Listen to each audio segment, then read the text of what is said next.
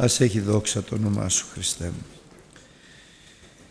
Με τη χάρη του Χριστού θα διαβάσουμε από τη σελίδα 859 είναι από το κατά Ευαγγέλιο το κεφάλαιο και ότα γάμα. 13 κεφάλαιο σελίς 859 γιώτα γάμα κεφάλαιο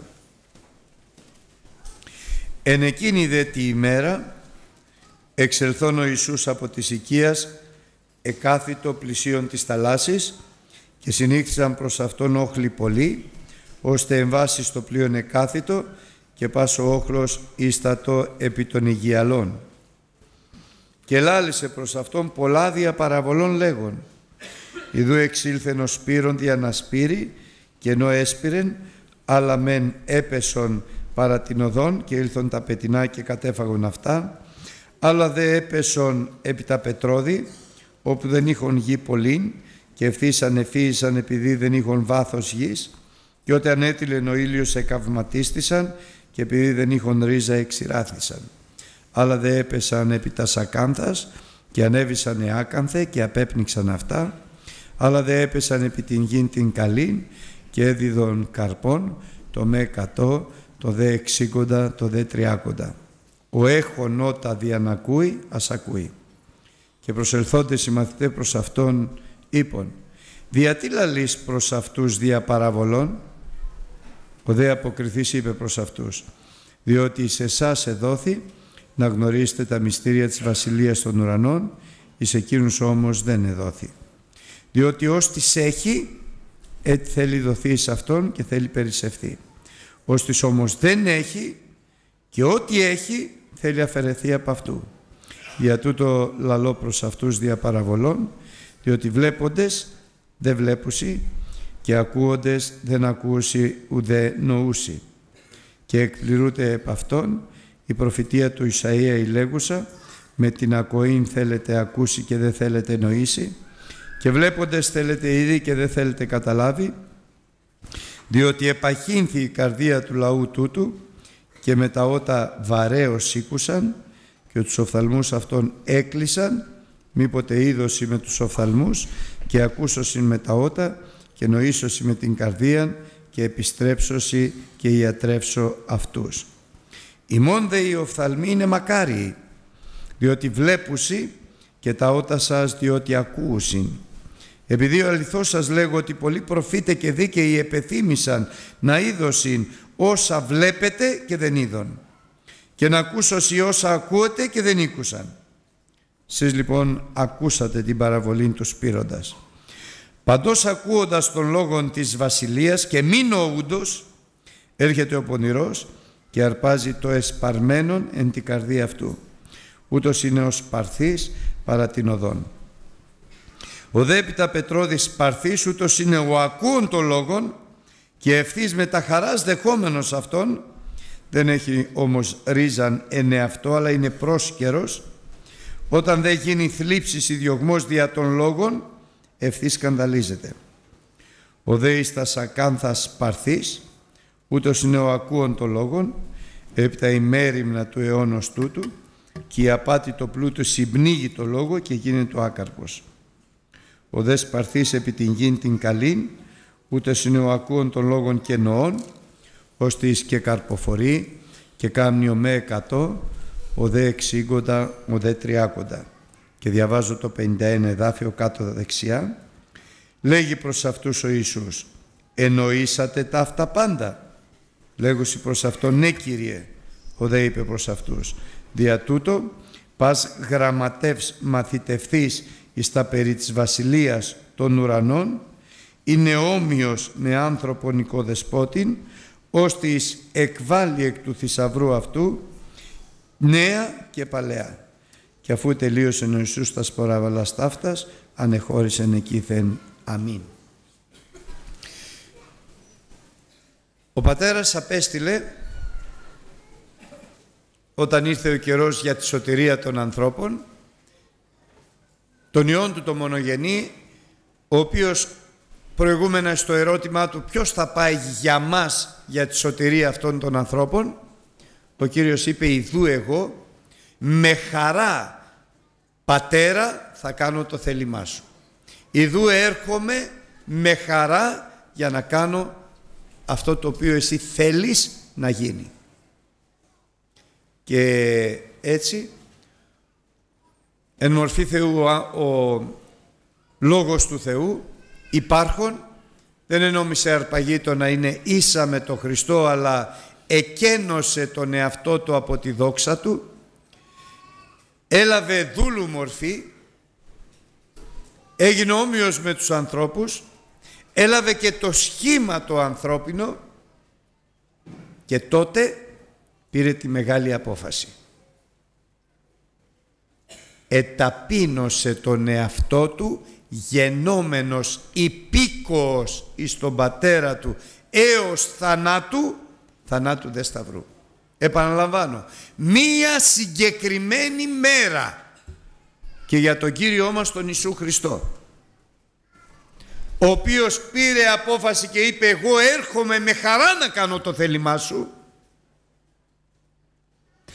και το θέλημα του Θεού προσδιορίζε να εκενώσει τον εαυτό του από τη δόξα του Θεού, να απαρνηθεί τον εαυτό του, να γίνει όμοιος με τους ανθρώπους, να γίνει άνθρωπος και κατά το σχήμα και όταν εκπληρώθηκε το θέλημα του Θεού στο να γίνει αυτό που ο πατέρας τον θέλει και τον ήθελε, όταν γνώρισε και περπάτησε σύμφωνα με το θέλημα του Θεού, τότε έκαμε σαν άνθρωπος Χριστός Ιησούς μία συνθήκη με τον Πατέρα Του.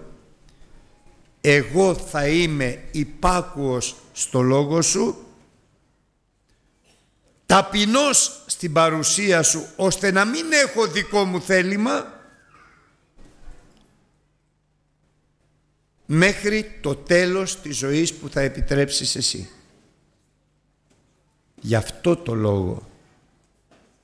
Όχι γιατί εκένωσε τον εαυτό του, όχι γιατί πήρε δούλου μορφή, όχι ότι γιατί έγινε όμοιος με τους ανθρώπους και έλαβε το σχήμα του ανθρώπου, αλλά γιατί σαν άνθρωπος έκανε συνθήκη με τον πατέρα του να ταπεινώσει τον εαυτό του, να απομακρύνει κάθε δική του σκέψη, δικό του λόγο, δική του γνώμη, δική του απόφαση ώστε να λέει ότι αυτά τα οποία εγώ λέγω δεν τα λέγω εγώ πατέρας μου ώστε και αυτά τα οποία εγώ πράττω δεν τα πράττω εγώ αλλά ο πατέρας μου. Πήρε λοιπόν απόφαση αφού ταπείνωσε τον εαυτό του να γίνει υπάκουος κατά πάντα. Για όλη του τη ζωή. Μία μέρα για όλη του τη ζωή. Γι' αυτό και ο Θεός τον υπερήψωσε και του εχάρισε το υπερπάνω όνομα Κύριος γιατί αυτή τη στιγμή ο Κύριος όλων των δυνάμεων είναι ο άνθρωπος Χριστός Ιησούς τον οποίον πήρε και κάθισε στα δεξιά του ο πατέρας και του δώσε πάσα εξουσία και στον ουρανό και στη γη. Και μπροστά στο όνομα αυτό εν τέλει θα κλείνει, θα κλείνει παν γόνι επουρανίων, άγγελοι, αρχάγγελοι, χερουβίμ, σεραφίμ, επιγείων κάθε άνθρωπος και καταχθονίων κάθε πνεύμα πονηρίας. Θα κλείνει γόνη και θα ομολογήσουν όλοι ότι είναι ο Κύριος των Κυρίων και ο Βασιλεύς των Βασιλέων. Αυτός λοιπόν ήρθε για να αποκαλύψει τα μυστήρια της Βασιλείας των Ουρανών, για να κηρύξει υγιένουσα διδασκαλία το Ευαγγέλιό Του και για να ελευθερώσει τους δικαίους εχμαλωτιστέντες ανθρώπους από το διάβολο και σατανά που είναι ο άρχον και ο Θεός του κόσμου τούτου.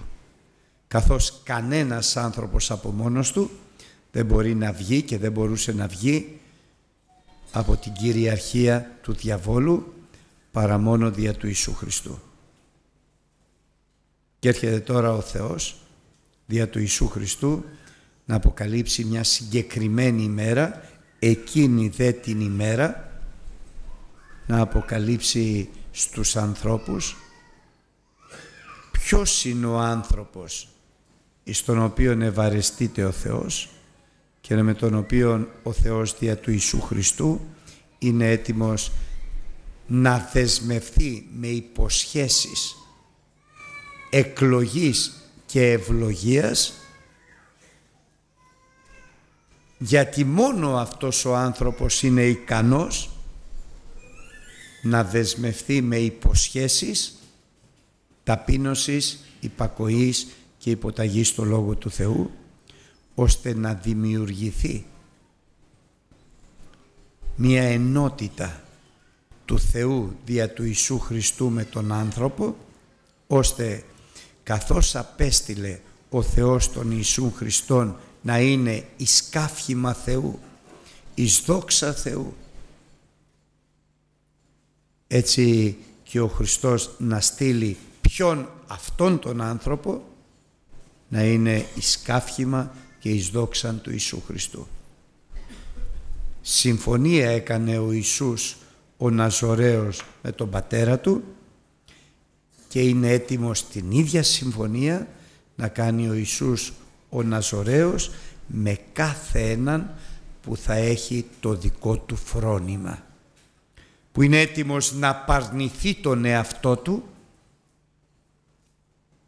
να πάρει το σταυρό που θα τον φέρει στην Ανάσταση και στη δόξα και να ακολουθεί απολύτως και μόνο Ιησού Χριστόν τον Υιόν του Θεού του Ζώτος. Γι' αυτό και ο μόνος ο οποίος μπορεί να αποκαλύψει τα μυστήρια της Βασιλείας των Ουρανών και να διδάξει τους ανθρώπους πήρε εκείνη τη συγκεκριμένη μέρα και πιστεύω ακραδάντως ότι σήμερα είναι αυτή η συγκεκριμένη μέρα που ο Θεός μας προσκαλεί, το πιστεύω ακραδάντως, θα, θα τολμούσα σαν αδύναμος άνθρωπος να πω «Σας βεβαιώνω, αλλά εν το ονόματι του Ιησού Χριστού», ότι είναι εκείνη η συγκεκριμένη ημέρα που θέλει ο Θεός να δεσμευτεί με υπόσχεση εκλογής και ευλογίας με Αυτόν που θα θελήσει να δεσμευθεί με υπόσχεση υπακοής και υποταγής στο Λόγο Του ώστε ο Χριστός να δοξάζεται και ο άνθρωπος αυτός να αποτελέσει από εδώ και στο εξής κάφημα και δόξα του Χριστού. Είναι προσωπική απόφαση. Δεν είναι οικογενειακή ούτε η εκκλησιαστική. Είναι απολύτως προσωπική απόφαση σαν αυτή που πήρε ο Λόγος του Θεού, σαν αυτή που πήρε ο Υιός του Θεού ο μονογενής, σαν αυτή που πήρε ο άνθρωπος Χριστός Ιησούς, σαν αυτή που πήρε ο πρωτότοκος Υιός του Θεού άνθρωπος Χριστός Ιησούς. Και δια την οποία απόφαση ο πατέρας αποφάσισε και έδωκε εις αυτόν το υπερπάν όνομα. Και δια την οποία απόφαση ο Ιησούς Χριστός προτίθεται αυτόν τον άνθρωπο να τον καταστήσει υψηλών παραπάντων των άλλων με πνευματικό τρόπο εις δόξαν του Θεού, να είναι εις του Ιησού Χριστού, να φέρει το όνομα του Ιησού Χριστού και να αποκαλύπτεται μέσα από αυτόν η δόξα του Ιησού Χριστού στη ζωή του. Η μέρα μοναδική. Μέχρι τώρα πολλά λάθη κάναμε. Πολλά υποσχεθήκαμε και τίποτα δεν εκτελέσαμε. Πολλές οι αδυναμίες μας, πολλές οι αμφιβολίες μας και εν γέννη μερικές φορές και η απιστία μας.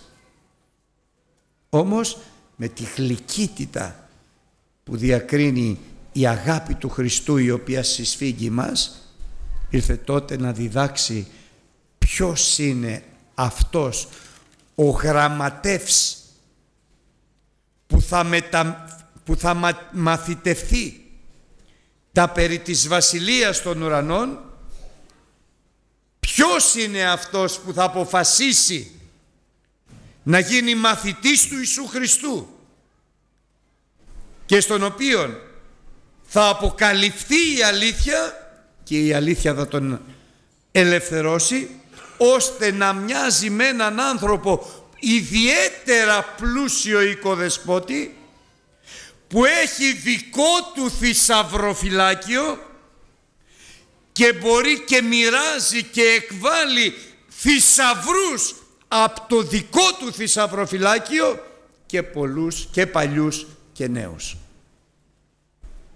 Ποιος είναι αυτός τον οποίον ο Κύριος θα καταστήσει; Ως έναν πολύ πλούσιο οικοδεσπότη επειδή μαθήτευσε μαθητευτείς εις τα περί της βασιλείας των ουρανών ώστε να έχει το προσωπικό του δικό του θησαυροφιλόκιο με θησαυρούς αιώνιους ουράνιους ασάλευτους ένδοξους και να μπορεί να εκβάλει από τους θησαυρούς του και να δίνει και παλαιούς θησαυρούς και νέους θησαυρούς ακριβώς όπως έκανε ο Χριστός κατά το λόγο του όπως ο πατέρας απέστειλε με ιδού εγώ αποστέλω εσένα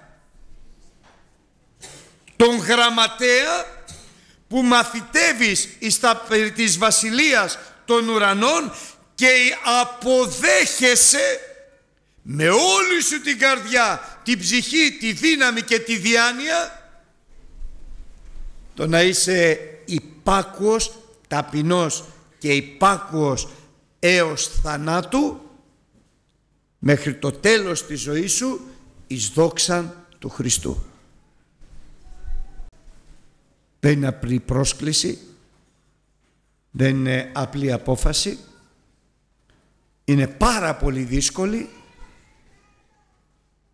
αλλά είναι γεγραμμένο τα δύνατα εις τους ανθρώπους είναι δυνατά στον Θεό.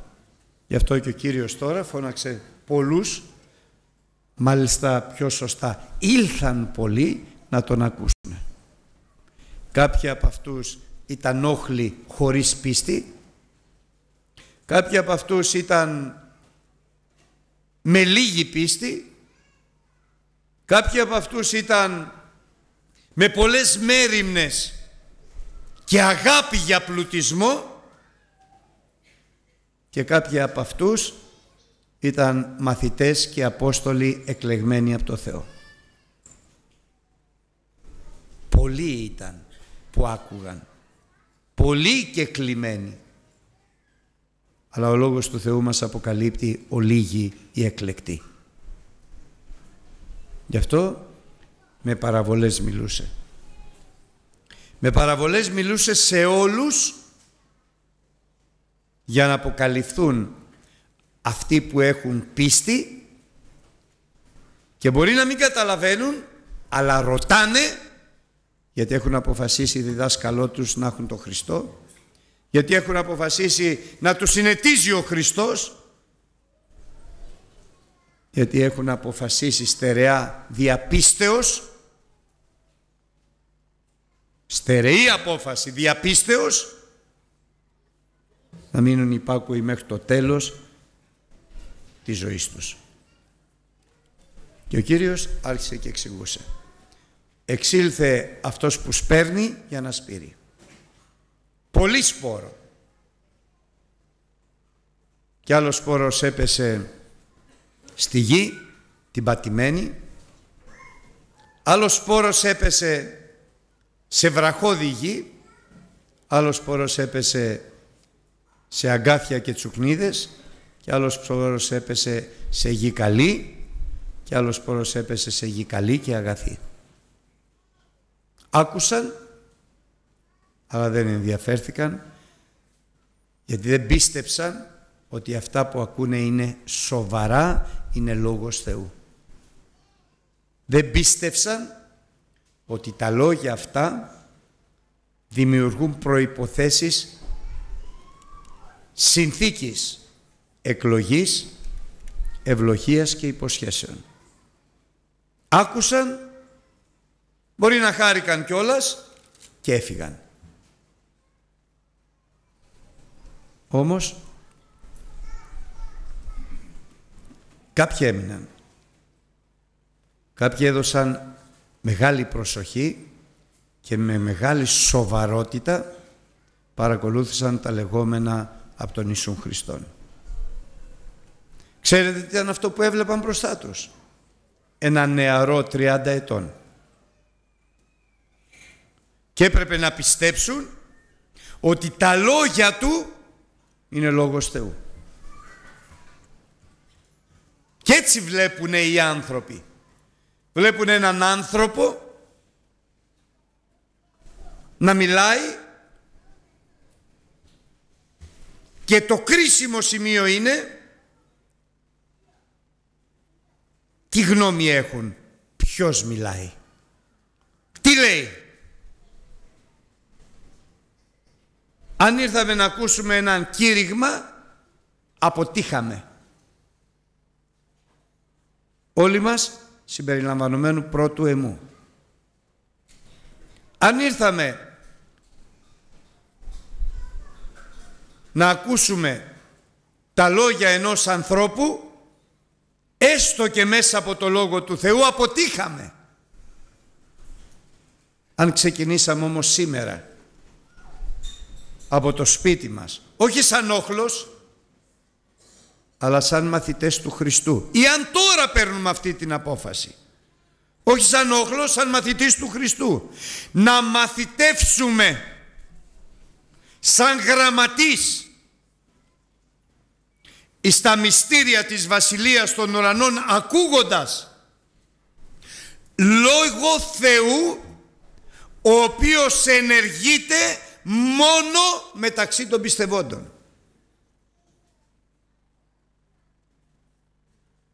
Ο Λόγος του Θεού έχει ένα χαρακτηριστικό. Είναι ζών και ενεργός και κοπτερότερος υπερπάσαν δίστομον μάχεραν, αλλά ενεργεί μόνο στις καρδιές που πιστεύουν.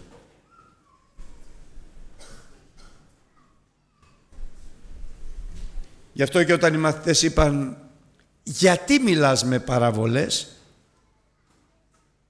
τους είπε για ότι μέσα από τις παραβολές αυτές θα γίνει η πρώτη διάκριση. Όποιος έχει πίστη θα λάβει και θα περισσευθεί. Όποιος δεν έχει πίστη, επειδή δεν έχει πίστη ο Θεός του κόσμου τούτου, θα τυφλώσει το νου του, για να ακούει με τα αυτιά και να μην καταλαβαίνει, για να βλέπει με τα μάτια και να μην κατανοεί, γιατί είναι γεγραμμένο και η Γραφή δεν δύναται να αναιρεθεί. Ότι ο διάβολος ετύφλωσε το νου, τους οφθαλμούς των ανθρώπων και σκλήρινε δηλαδή την καρδιά αυτών για να μην δουν με τους οφθαλμούς τους και να μην καταλάβουν με την καρδιά τους και επιστρέψουν στο Χριστό και τους γιατρέψει. Είναι γεγραμμένο λέει ποιος; Ο Λόγος του Θεού ο Ιησούς Χριστός. Και δεν μπορεί αυτό να αλλάξει. Κανένας δεν μπορεί να τα αλλάξει αυτό. Μακάρι είναι οι πιστεύοντες γιατί δεν θα κατεσχηθούν εάν λοιπόν δέχεσαι σήμερα το Λόγο του Θεού καθώς είναι Λόγος Θεού τότε θα ενεργήσει ο Θεός στη ζωή σου, θα σου αποκαλύψει, θα σε, κάνει, θα σε συνετίσει Και θα σου πει έλα εδώ να σου πω ποιος είσαι. Μήπως μέχρι τώρα η απιστία σου είχαν κάνει την καρδιά σου σαν πατημένη γη. Τότε θα ακούς το Λόγο του Θεού, δεν θα τον καταλαβαίνεις και θα έρχεται ο πονηρός θα τον αφαιρεί και δεν θα έχεις κανένα αποτέλεσμα και καμία ενέργεια μέσα του. Εάν πάλι είσαι από αυτούς που έχουν βράχια και πέτρες, είσαι δηλαδή από αυτούς που με χαρά ακούς το Λόγο του Θεού,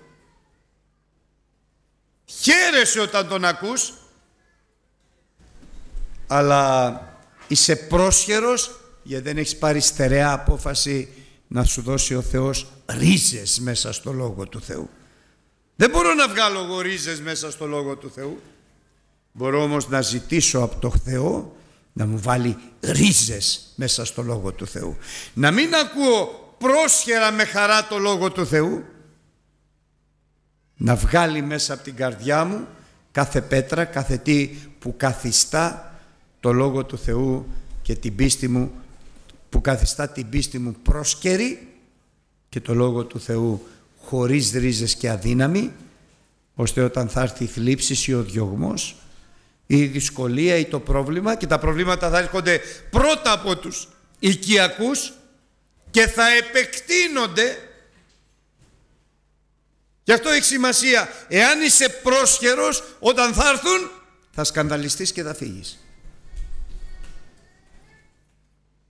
Και να πω κάτι, όλοι είμαστε έτσι.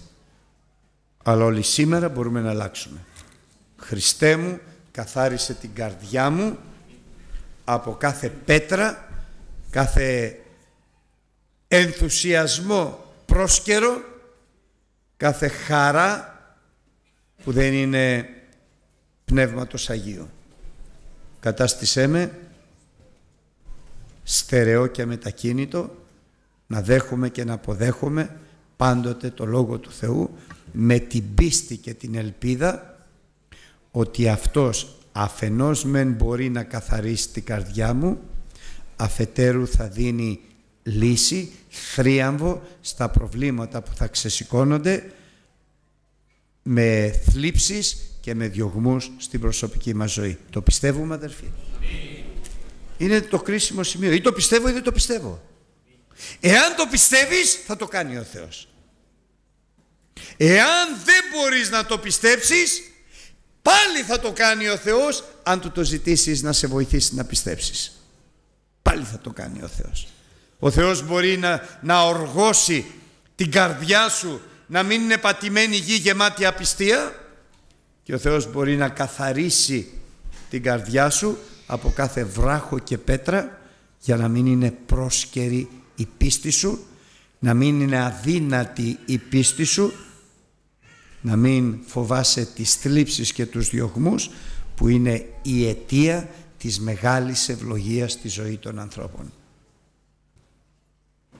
Και τρίτον, ο, ο θέιστας ακάνθας παρθής, ούτως είναι ο ακούων των λόγων, έπειτα η μέρημνα του αιώνος τούτου και η απάτη του πλούτου συμπνίγει το λόγο και γίνεται άκαρπος. Πιστεύω και πιστεύω πολύ αλλά μέσα στην καρδιά μου κυριαρχούν δύο καταστάσεις.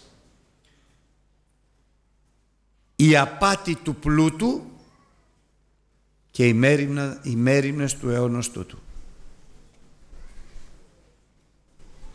Θέλω να κερδίσω πολλά στον κόσμο αυτό.